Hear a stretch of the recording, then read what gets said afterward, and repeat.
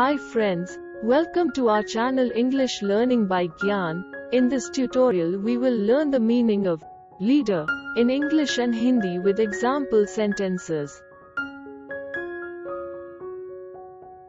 Leader meaning in English is the person who leads or commands a group, organization, or country, or the person who convinces other people to follow.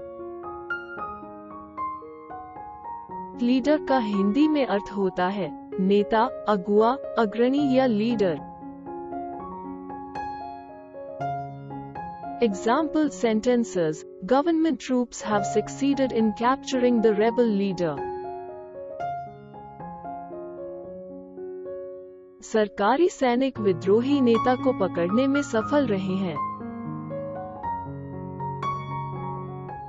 He was not considered a strong leader